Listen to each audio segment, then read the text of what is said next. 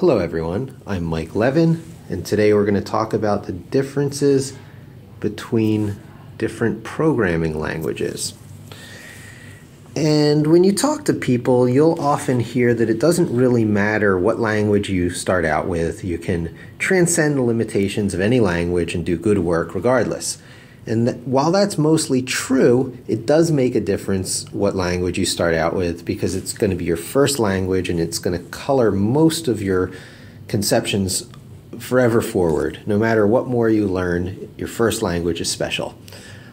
Also, like with the spoken word, certain languages lend themselves more to expressing certain ideas. Whether you speak Mandarin Chinese, or English or Cherokee, certain ideas are going to be easier, harder, uh, impossible, or a pleasure to express. And the same exists with programming languages. So this is the verses line. And most uh, computers in the early days used low level languages because there was no other choice and that is mostly assembly language, and that is versus high level languages, which are more like English. They're easier to program, the words are more familiar. Python would be a great example of a high level language, and C is an example of the lowest level of the high level languages. The next thing is compiled versus interpreted. And this used to be really important. Interpreted languages were just so slow, whereas compiled languages ran really, really fast. But compiled languages have to be compiled, so it was slower to develop. You had anywhere from a couple minutes to a half hour wait waiting for your code to compile based on how uh, big your program was. Interpreted languages have a much faster workflow. You write, you run it, and you see how it runs, even though the running is slower. The next thing is whether your language is domain specific, is the industry jargon, but they're just saying whether it's a specialized language. Especially in the early days where they were solving particular problems a language might be written for scientific number crunching or for business, like Fortran and COBOL, respectively, versus more general purpose languages.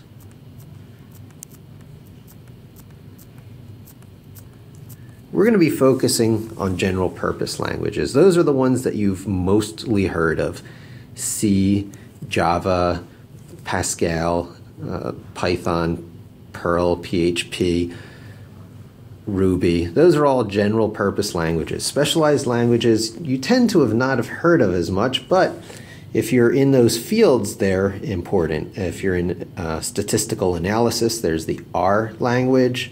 If you're in mathematics, there's Mathematica. But uh, as time goes by, general purpose languages even become more and more uh, better at doing those specialized problems so it becomes less of an issue over time. The next one is seldom discussed but very, very interesting. It's whether it's a metaprogramming language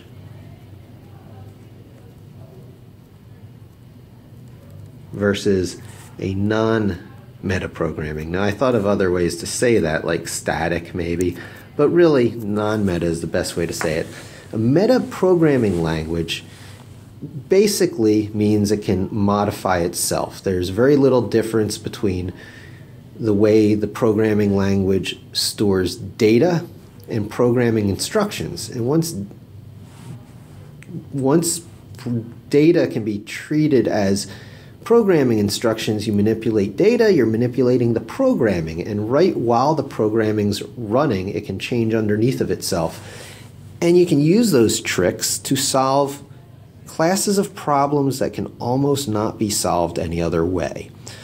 The granddaddy language in that category is Lisp, and Lisp has some very big advocates out there, mostly Paul Graham, and he'll make the argument that it's the best language because it can do things that other languages can't. The problem is that you'll be on your own uh, you you essentially layer up layers of invented languages because metaprogramming languages are great at writing languages. So to solve your particular problem better than anyone else can, you layer on solutions, and it's basically difficult for other people to step in and understand and take over your code. But it can be used for things like uh, it was uh, Lisp programming for the self driving car that won the DARPA challenge to navigate across the desert. So, you know, when all else fails, sometimes you do resort to it, but we're going to be focusing on non meta languages. The next thing, which is becoming more and more popular to talk about, is whether a language is sequential versus concurrent. Concurrency is very important for scaling. When you need thousands of things to happen at the same time, your program essentially breaks up into a thousand bits, starts processing along these parallel lines, and gets to the finish line much more quickly than sequential programming would.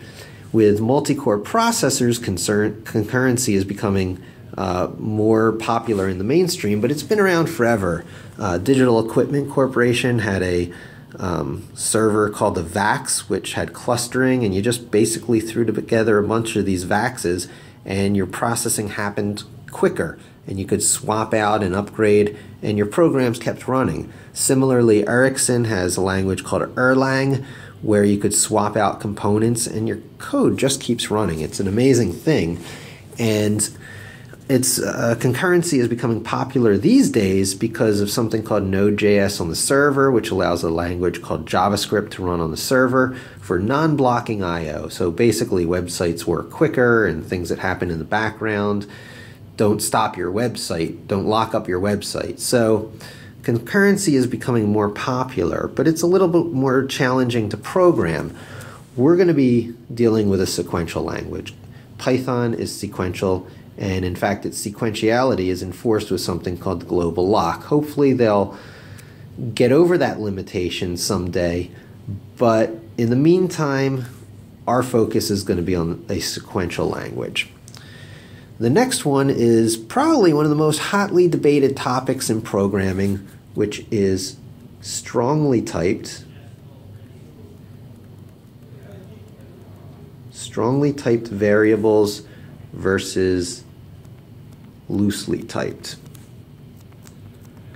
Now, what this means is that when you're writing your code and you're getting up to assigning a variable to a value, in the strongly typed languages, you have to say what type of variable it is, whether it's an integer or a string, what type of integer, how long the string. And in a loosely typed language, you just you don't even have to declare the variable. You can just start using it. And traditional thinking is that strongly typed is better because it keeps the bugs out. Uh, the compilers at compile time look specifically for errors, uh, call them out, and you have to fix them. Now, the truth is that the compilers are getting smarter on the loosely typed side, just like they're getting smarter on the interpreted side, where execution speed is faster because they're building in compilers. At a similar location in the execution of the code, the interpreters are catching those mistakes. With loosely typed variables, ambiguity is your enemy. If something can be interpreted in more than one way, like if you say a plus 1, is that supposed to be the value of a plus 1, so it could equal 2? Or is it supposed to be appending a 1 onto an a, so the answer is a1? So the interpreters basically, for the most part, stop running when there's ambiguity these days and make you fix that mistake before you can continue. And the advantage of loosely typed variables is faster development. So a program might be 500 lines of code with loosely typed variables, but a thousand lines of code with strongly typed variables because you have to, you know, declare all your variables, which can be a bottleneck. And then the uh, the final thing, most people would say, "Oh, what about object oriented? Object oriented versus everything else." Well, the problem is, what is that everything else? It's a whole bunch of stuff. There's um, procedural, uh, imperative, functional. So it's not really object oriented we're talking about.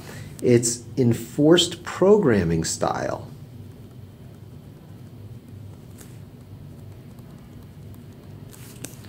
versus non enforced programming style.